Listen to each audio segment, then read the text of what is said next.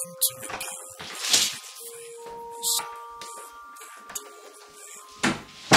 came in.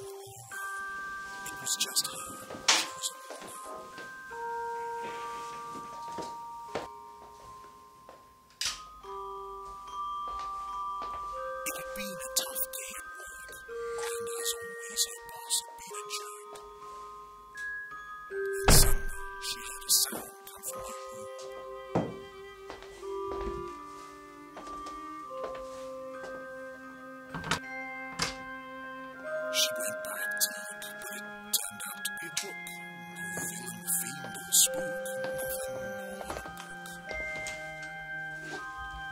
Before she knew it, the lights got out.